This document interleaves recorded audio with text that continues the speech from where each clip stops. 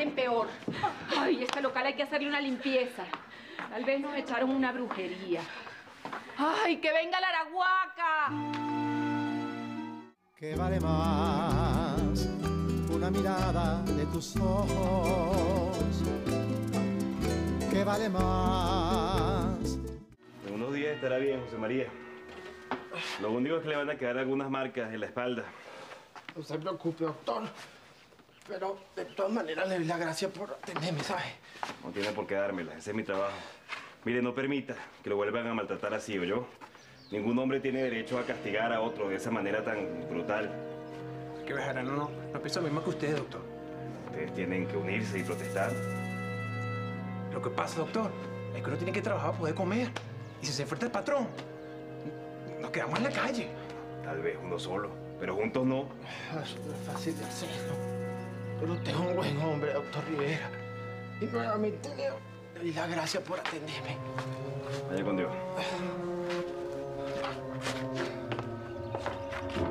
Bueno, y Alirio no va a dejar de mirarme.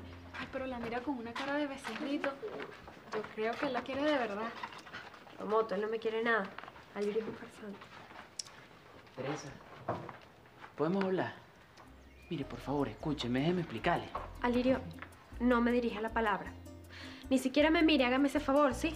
Pero entonces le va a creer más a Carmelina que a mí. Mire, yo se lo juro que todo lo que le haya dicho ella es mentira. Ah, De verdad. Adiós, Alirio. No, no, Teresa, Teresa. Teresa. Mire, usted está siendo muy injusta conmigo. Ay, por favor, tiene que creerme.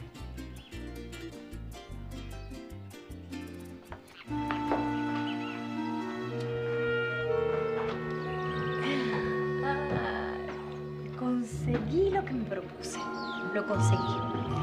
Estúpida de Teresa ya no quiere nada con Alirio.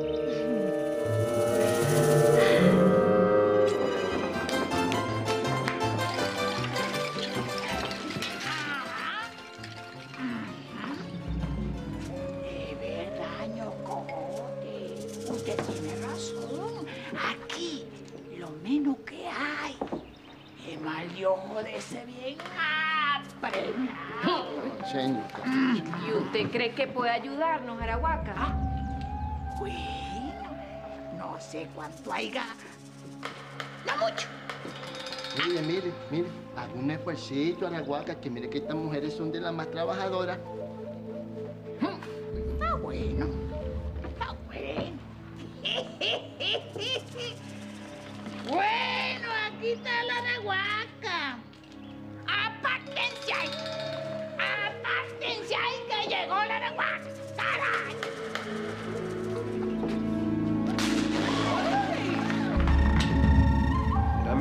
Un tiempo más, muchacho. Un momento para robar la hacienda de los Rivera. ¿Y eso por qué, Lisandro? Necesitamos plata y usted lo sabe. Mm. Que pensar las cosas bien. Sé que por atorado nos agarren. Usted tiene razón en lo que dice. Su papá está desesperado en meter el calabozo a los que robaron el bar. Mm. Si mi papá se llega a enterar que nosotros somos esos hombres y que su hijo es el propio jefe, es capaz de fusilarnos. Y yo que pensé que íbamos a robar la hacienda de los Rivera. Hasta preparé los revólveres y la capucha. Ese alborote, Serapio. Ese alborote. No sé exactamente cuándo va a ser, pero lo vamos a hacer. Nosotros vamos a robar la hacienda de los Rivera.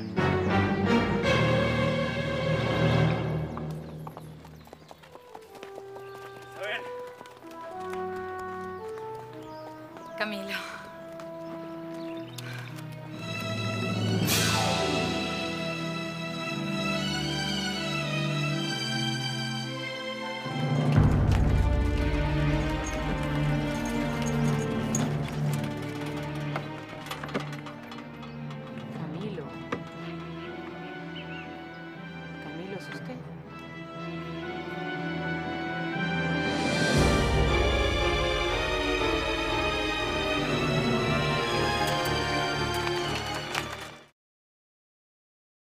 ¿Qué vale más una Ay, como que a mí le enfermó la mojada que usted le echó. Quiere nomás al pobre muchacho.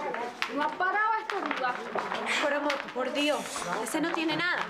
Lo que estás inventando para hacerme sentir culpable. Y usted aplíquese pintando esas máscaras. Mire que tienen que estar listas para el día de la representación. Pero nosotros no vamos a poder con todo esto. Necesitamos ayuda aunque sea.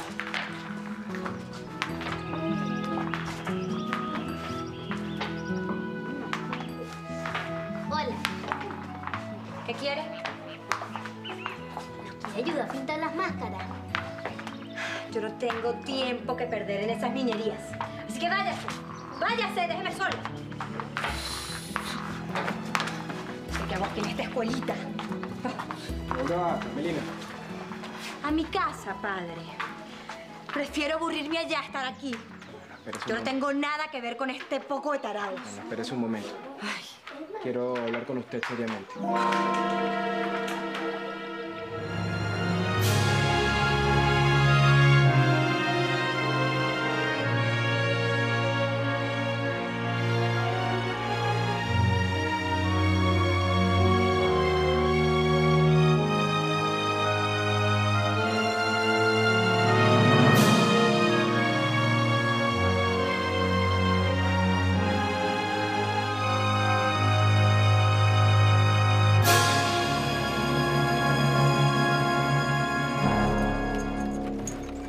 ¿Dónde estarán? ¿Dónde se habrán metido? Carmelina, ¿no se da cuenta que la única que está sola es usted? Yo estoy con quien yo quiera estar. Sí, lo sé. Mientras todos están reunidos, disfrutando, comiéndose su merienda, usted está sola, rumiando su rebeldía sin ninguna razón. Eso es lo que usted y todos creen. Que yo no tengo la razón. Pero si nosotros supiéramos qué es lo que le molesta, tal vez la entenderíamos. Pero siempre está callada, sola, apartada, como si estuviera molesta con el mundo. A mí todo el mundo me molesta. Es más, yo no sé ni qué hago aquí. Mira, si usted tratara de cambiar un poco, tal vez no estaría perdiendo su tiempo. Ay, no, padre, de verdad, déjeme en paz.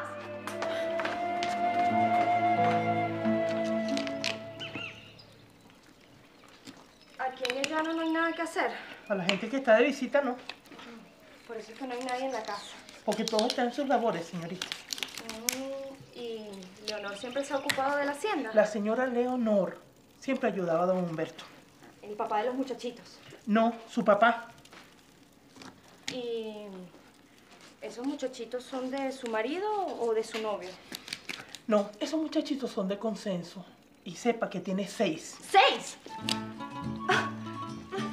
¡Caramba! Ese capataz no pierde el tiempo. Se ve que ese hombre es todo un cemental. Hace falta machetes y como 30 escardillas. ¡Consenso! ¿Qué pasó, patroncita? Pasa que usted está durmiendo, que ha pasado todo el día hecho leña por la borrachera que carga encima. Usted, discúlpeme, patroncita, ¿sí? Haga el favor y échese un baño, a ver si se le pasa esa resaca. Yo no sigo perdiendo el tiempo con usted, me voy al pueblo a resolver mis asuntos.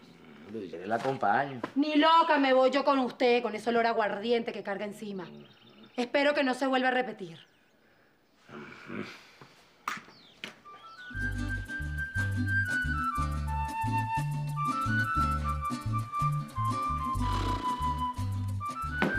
No,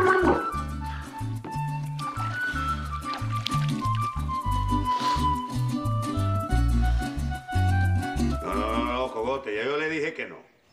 Una cosa es que interroguemos a la arahuaca y otra cosa es que me la traiga para acá para que me esté echando ramazo. y Rasca aquí, venga. Mire, jefecito, hágame caso. Es Eso. mejor que pongamos de parte esta cuestión, ¿no yo?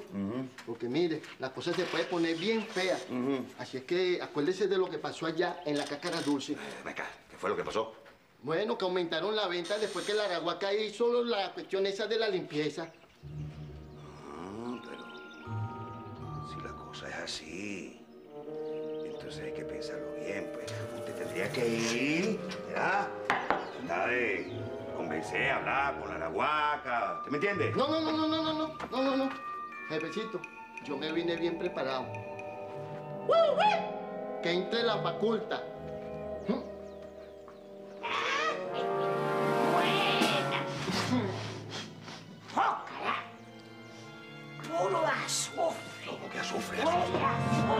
Azufre, Araguata? ¿Cómo que azufre? ¿Qué? A mí no me huele nada. Ay, ¿sabe por qué? Porque el maleficio se lo echaron a usted. ¿A mí? A usted. Pero no se lo echaron al cogote. Porque lo que pasa es que usted es la autoridad, mi jefecito, y eso de envidia. Mire, ño Atanasio, váyase esnudando ahí que yo voy a preparar aquí lo que le voy a hacer. ¿Qué dijo? Que me quite la ropa. Sin rechista. Sin rechista.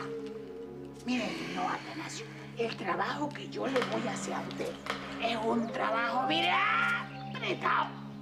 Así que no me estén haciendo desgastar mis energías convenciéndola a usted para que me haga caso.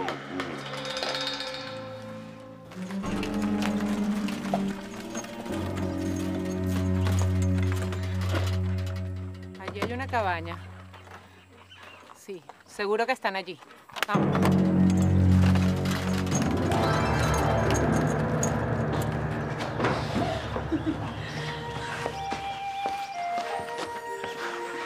Vamos a ver.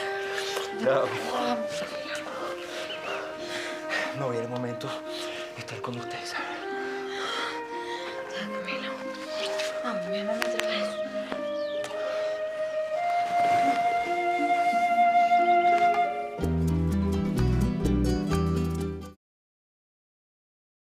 Que vale más una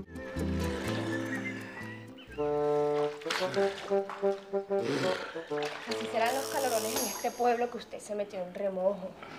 Ah, señora Otilia. Señora no, señorita Otilia. Creo que se mojó toda la ropa. Que lo que pasa es que tengo así como que despertarme porque estoy un poco atontado. No se preocupe. Lo ayudo a descamisarse. ¿Ya? Digo, no se vaya a resfriar.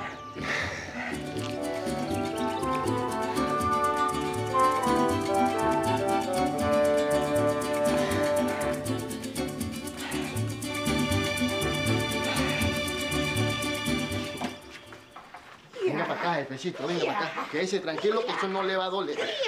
Ya la ceremonia comenzó, jefecito. Si no sale bien, ¿qué va a pasar? Bueno. Ajá. Vamos a ver ahora. Ajá, la boca. Ajá, la boca. Sa- sa- ¡Vamos, espíritu de Ah. mal! ¡Salga para allá! ¡Para allá! ¡Para allá! ¡Afuera! ¡Ay, mi madre! ¡Usted se volvió loca! ¡Me está pegando! ¿Me quiere que la meta en el calabozo? ¿Qué fue lo que hice? ¿Qué me pegó? ¿Con qué que- ¡Ah! Pero mire, mito, que me puso ese palo ahí con las ramas. Pero se da cuenta, no, Atanasio, que ese maleficio es maluco. Mire, mire. Mire, mire, mire. No se me desconcentra, guaca, que todo iba bien, ¿no? Yo, tenga paciencia, patroncito. ¡Ninguna paciencia! Otra equivocación como esa. Y la meto de cabeza en el calabozo, pero por cadena perpetua y un día más. Siga para adelante, eche para adelante, pues. Vamos, Araguaca, vamos. ¡Ánima! ¡Vengan en mi ayuda! ¡Vengan en mi ayuda! A sacar de este mal de ojo que tiene este hombre encima. Y usted disculpe este desastre, señora. Señorita, Señorita, sí. Bueno, como dicen en el pueblo, que borracho no es gente.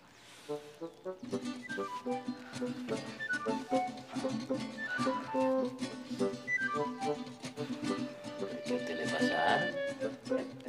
nada, consenso. ¿Qué me va a pasar?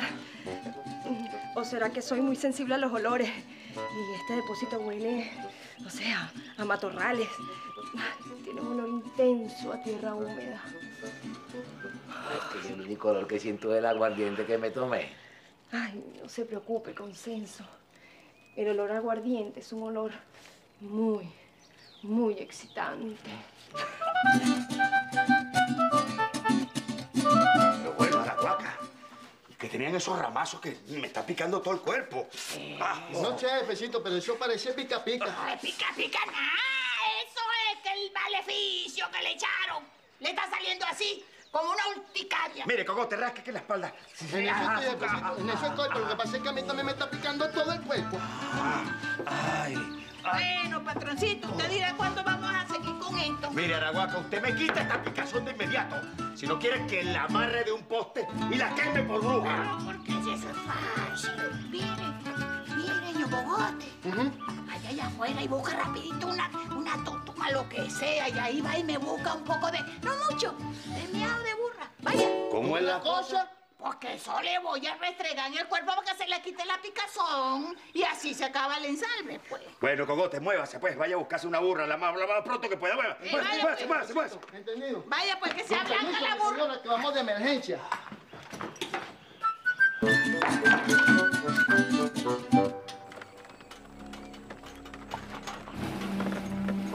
A salir de esta incertidumbre.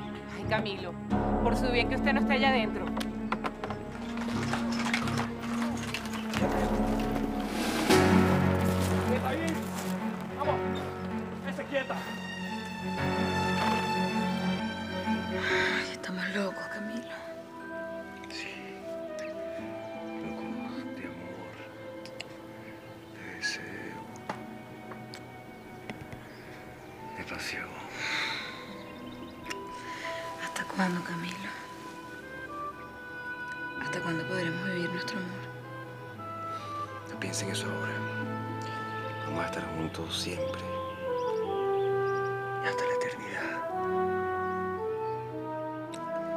Hagamos una promesa. Dígame, Juan. Prométeme que siempre me amarás. Y yo le haré la misma promesa.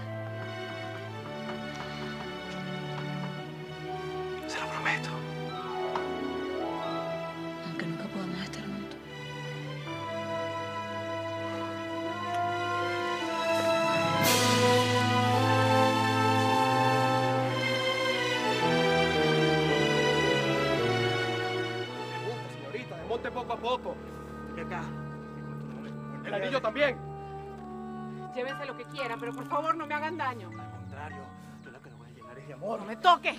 Tranquila, que nosotros no vinimos a eso. Déjase ustedes. Yo me quedé con ella.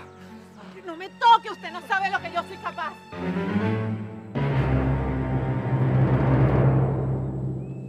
Vamos a quedarnos a vivir aquí para siempre. Sí. Y vamos a amarnos cada minuto, una y otra vez.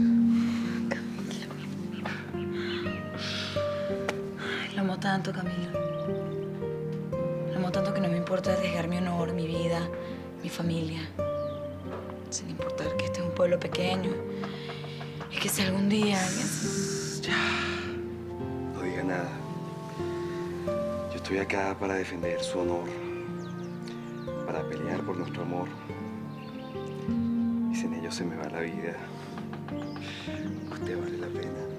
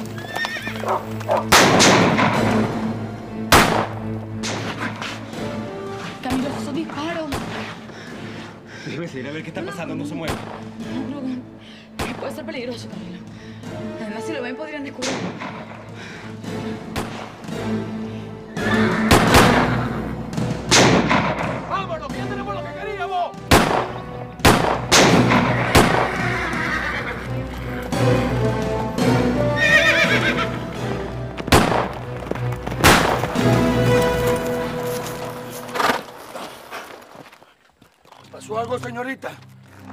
No, no. Estoy bien.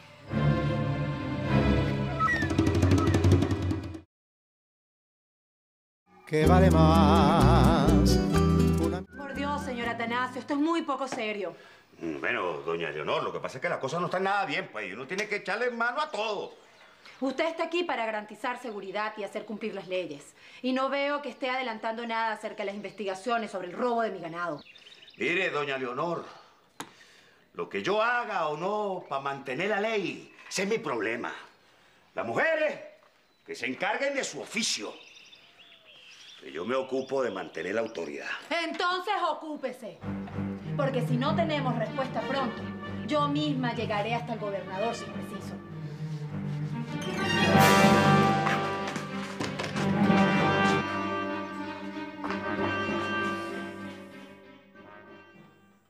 Escaparon los condenados, pero yo mismo los voy a hallar. ¿Le pasó algo, señora? No, no. Estoy bien. Gracias.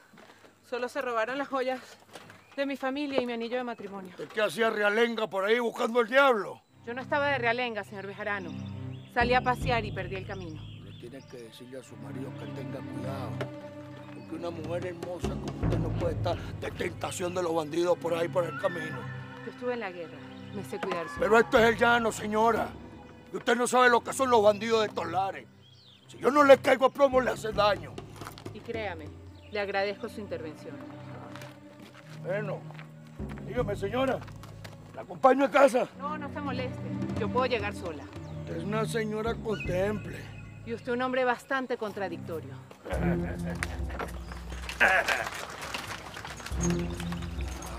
Brava la potranca esa. El doctor Camilo Rivera.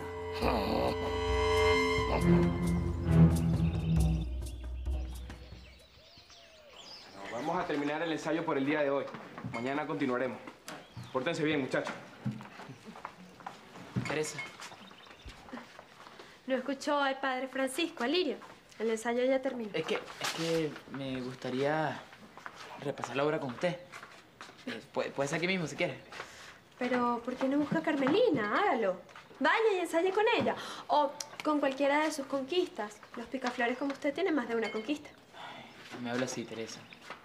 Mira, Lirio, si no quiere que le hable así, hágame el inmenso favor de no dirigirme la palabra más. Ahora con su permiso. ¿Sabe qué, Ali?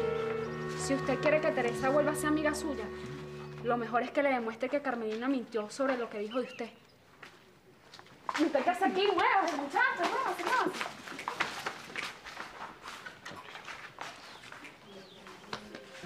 Buenas, padre. ¿Puedo pasar? Charito.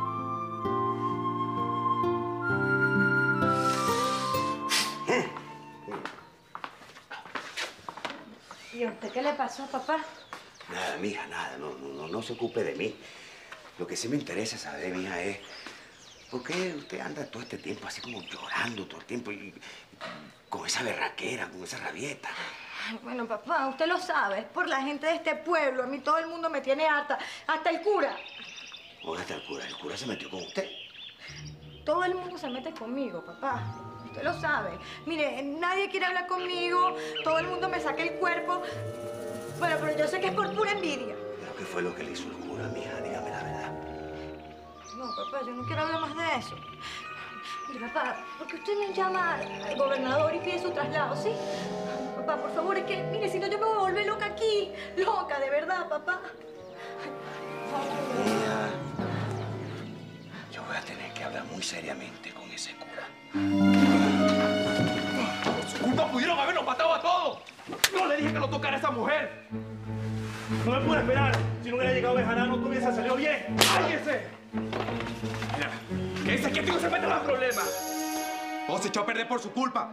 Y ahora lo más probable es que Bejarano le cuente a mi papá y pongan vigilancia en todas las haciendas. Y no podemos arriesgarnos a que nos agarren. Yo no puedo esperar más. Yo voy a entrar a la hacienda de los Rivera. ¿Cómo? Sin ustedes. No voy a hacer nada. No hace nada sin que yo se lo ordene. Así que no comete una estupidez si no quiere que lo mando yo. Vamos, muchachas, muevan esos paren esos traseritos y pónganle ganas. Que nos vamos a convertir en las más famosas de esta región. Vamos. Uno, dos, tres, cuatro. Levanten esas piernas, vamos. Así es.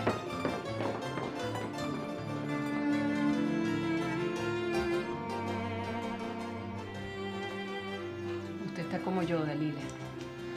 No hace más que pensar en la pobre Charito, ¿cierto? Sí, Román. Y no solo como amiga, sino que hace falta para esto de las novedades que usted quiera montar. Es que ella es una de las mejores. La novedad se consigue con facilidad.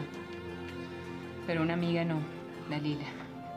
Y eso es lo que es Charito para mí, una buena amiga. Por eso la extraño. Debe tener un dolor muy grande para haber querido quitarse la vida así. Ay, Dalila. A veces la conciencia duele. Pero uno le pasa por encima y entiende que esa es la vida que le tocó vivir. Y no hay nada que hacer. No hay manera de salir de allí. Aunque uno lo desee con todo el alma. Vamos, muchachas,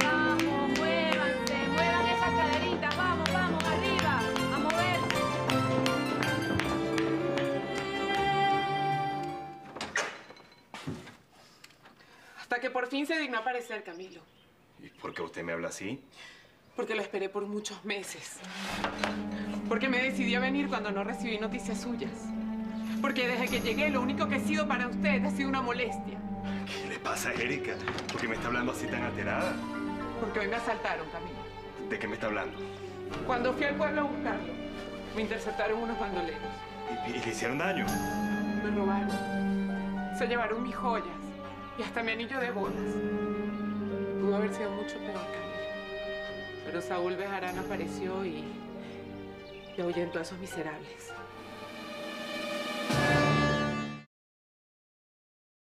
que vale más. Una... Virgencita, usted es de más de santa para venir yo a ensuciarla con mi boca. Pero le voy a pedir que me perdone por lo que hice. Ya la Virgencita la perdonó, Charito. Padre, Ahora solo tiene que tratar de ver hacia adelante. De encontrar su paz en el alma. ¿y cómo consigue uno la paz? Cuando una sola ha vivido en el tormento, en la necesidad. ¿Por qué lo hizo, Charito? Ni yo misma lo sé. A lo mejor porque estaba cansada de vivir, de cargar con estas deudas, con mis secretos. Quitarse la vida no es una salida. Tal vez no, pero Abra su corazón. Saque todo eso que no la deja limpiarse por dentro. a lo mejor una mujer como yo nunca pueda llegar a limpiarse. No diga eso. Usted es muy joven. Todavía tiene mucho camino por recorrer. Yo no estoy tan segura de eso. Pero yo les juro que estoy tratando de ver otro mundo, de no volver a la cáscara dulce. Pero la verdad es que no sé, padre. Yo creo que yo no puedo llegar a ser una mujer diferente. Ya lo ves. Yo no la voy a dejar sola, Charito. Yo la voy a acompañar en este nuevo camino.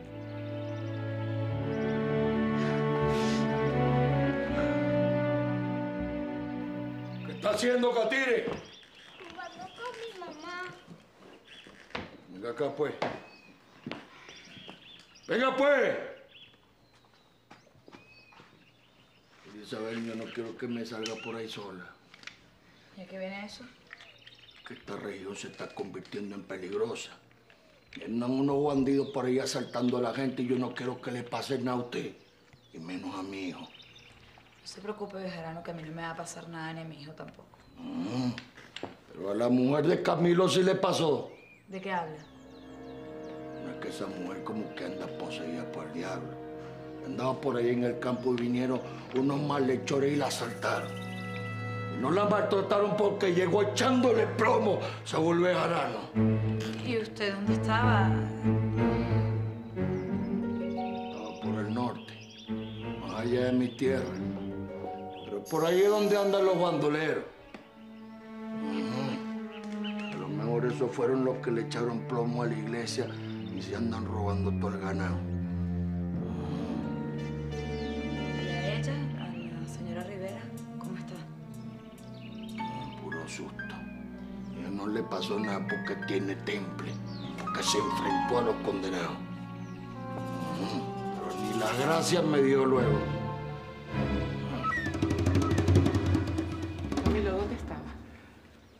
Eso no tiene nada que ver con lo que pasó, Erika.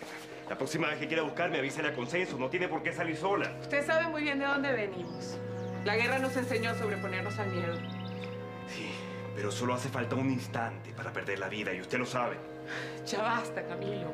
Estoy harta de este lugar. No entiendo qué hacemos aquí. No entiendo por qué usted se quedó. ¿Qué pasa con usted, Camilo? Explíquemelo. ¿De qué me está hablando? ¿Qué lo ata a este lugar? Esta es la hacienda de mi familia, Erika. Y usted tiene hermanas. Y siempre me dijo que Leonor se hizo cargo. No es igual. Camilo, sáqueme de aquí. Marchémonos de este lugar, por favor. Está bien, Erika. Yo le prometo que regresaremos a España. Pero antes me quedan algunas cosas por resolver.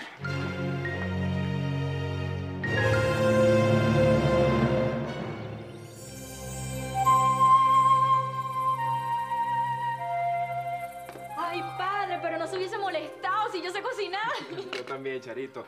Y de paso lo disfruto mucho. Vamos, coma, coma. Buen provecho, Charito. ¿Qué le pasa?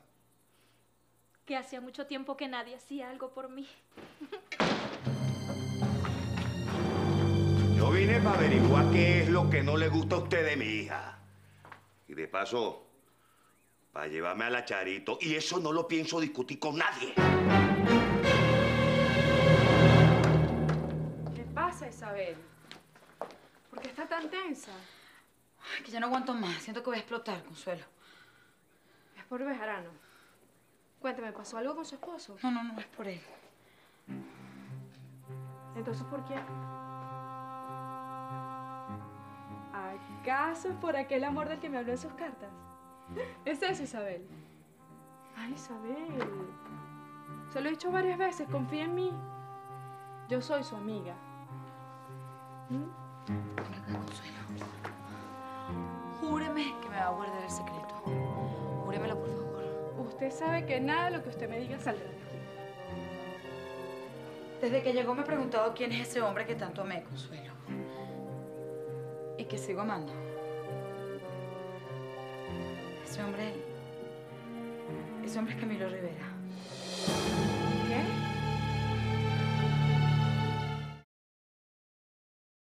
¿Qué? ¿Qué vale más? Una...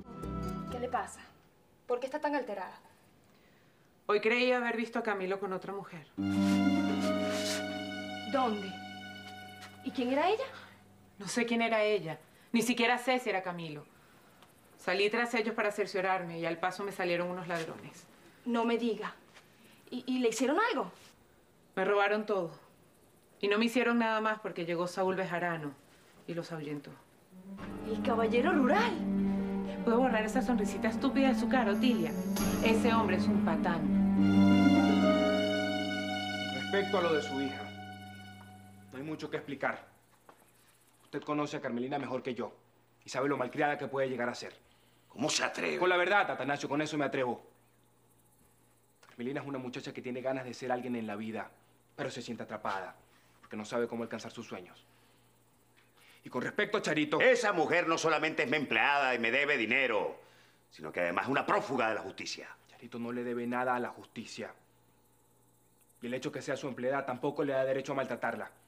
Hace unos cuantos años este país fue liberado de la esclavitud. Mire, curita, si usted insiste en desautorizarme, lo voy a meter preso, se lo advierto. Yo le advierto que si usted se lleva de aquí a Charito, le voy a escribir al benemérito, en nombre de la Santa Iglesia, informándole la clase de negocio que usted maneja en este pueblo, Atanasio.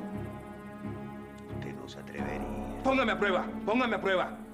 Y verá que en menos de una semana le cierran la cáscara dulce y lo destituyen de su cargo, Atanasio. Bueno, bueno. Las cuentas entre nosotros no se van a saldar así de fácil. Entre usted, Charito y yo hay una gran cuenta pendiente y la suya crece y crece y crece.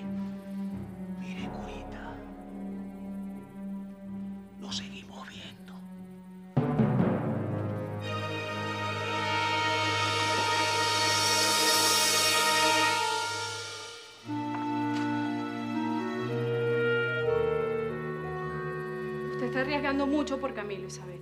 Lo sé, Consuelo, lo sé. Pero ya no puedo renunciar a Camilo. Lo necesito en mi vida. Necesito sus besos, sus caricias. Ay, Dios mío, Isabel. Usted tiene que cuidarse. Nadie puede saber esto, Isabel. Usted podría perder a su hijo y exponerse al escarnio público. Peor que eso, Consuelo. Bejarano es el mayor peligro.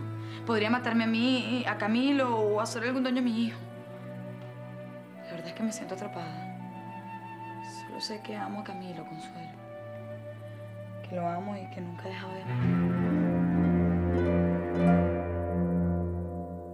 Cogote, ¿usted está seguro que sabe el lugar que yo le estoy diciendo? Porque tampoco le podemos estar cavando todo el pueblo buscando una morocota. Confía en mí, compadre, que por lo aquí no es que soy más viejo. Usted con decirle a Cogote, mire, vamos a buscar ese tesoro, eso es pan comido. Espero yo, Cogote, espero, ¿verdad? Patrona. Ustedes dos otra vez. Y bebiendo alcohol, pero esto es el colmo, consenso. Con mi debido respeto, señora. El amigo aquí presente no ha ingerido ni una sola gotica de este licor, en tanto que yo... Basta, Fulgencio. Haga el favor de retirarse. Con su permiso, señora mía, no le quito más tiempo. Échese ese sorbito ahí, compadre. Vergüenza le debería dar. Es que usted no vive sino para beber. Pero un momentico, patrón, ese que estaba bebiendo era Cogote yo estoy buenizando y vino a traerme una información importante. Peor todavía. Usted no puede permitir que un extraño esté consumiendo bebidas alcohólicas en mi casa. Momentico, patroncita, si no estábamos haciendo nada malo. Es que no le bastó con haberse presentado ayer todo borracho con la excusa esa del poema. Y hoy no trabajó lo suficientemente bien, no rindió en su trabajo. Bueno, patroncita, por Dios. Consenso, cada vez se me hace más evidente que usted está abusando de mi confianza. Yo creo que usted está equivocando las cosas que pasaron. me habla? Usted lo sabe muy bien. Lo que pasa entre nosotros no tiene nada que ver, patrona, con esto. Hágase la idea que eso nunca pasó, Consenso. Eso fue una debilidad de mi parte, pero eso jamás volverá a pasar. Si yo sé que usted lo que quiere es vivir sola y amargar para el resto de su vida. Porque ningún hombre se aguanta el trato que usted me da. Estar sola, eso es problema mío, Consenso. Usted ocúpese de su vida, yo me ocupo de la mía. Pero claro que me voy a ocupar. Pero lejos de esta casa. Porque yo renuncio. ¿Cómo dice? Lo que yo. Que hasta aquí le trabajo. Que me voy de esta casa. Con mi muchachera. Con permiso.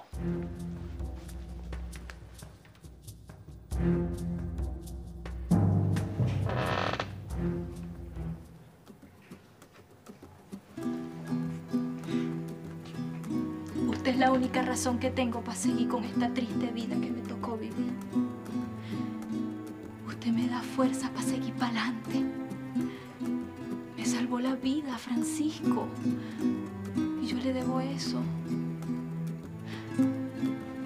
Y yo siempre pago lo que debo.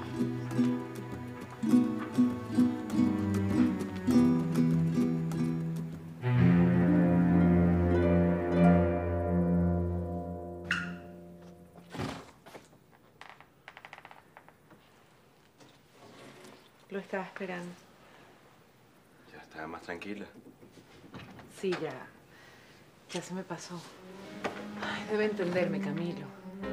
Para mí no ha sido fácil adaptarme a este lugar. Y después de lo que pasó hoy con esos hombres. Erika, yo lamento mucho que usted haya pasado por esta situación sola. Yo lo único que lamento, Camilo, es estar lejos de usted.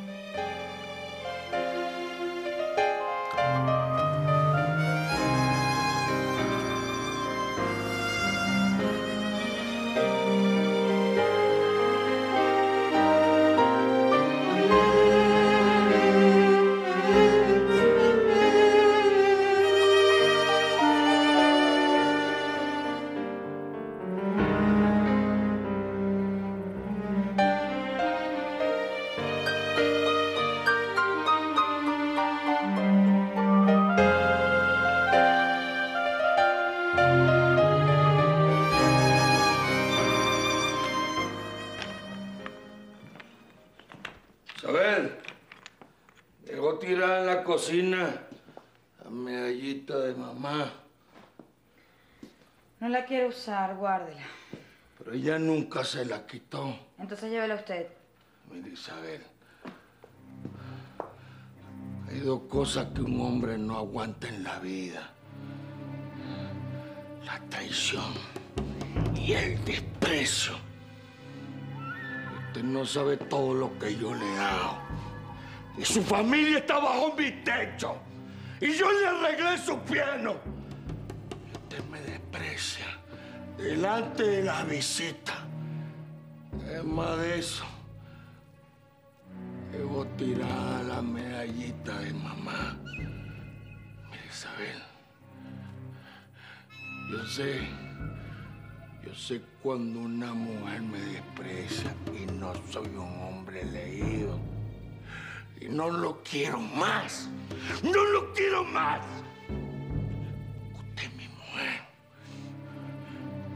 Hacer lo que yo quiera, Isabel. ¡Animal! ¡Bestia! ¡Déjeme! ¡Ayú! ¡Déjalo, por Dios! ¡Suelta, más!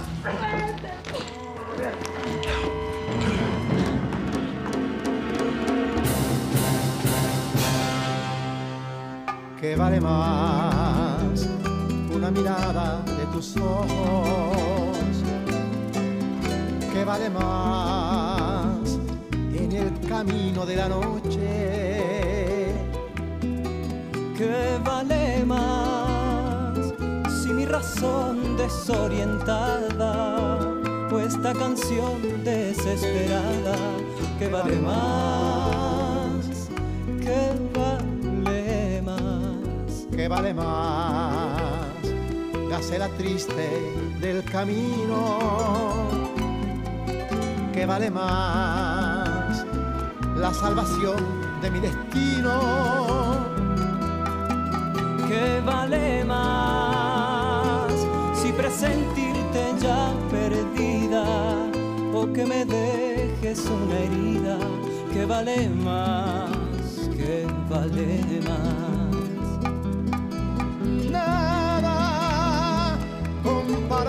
Contigo. Nada con tus labios nocturnos y tus caricias que valen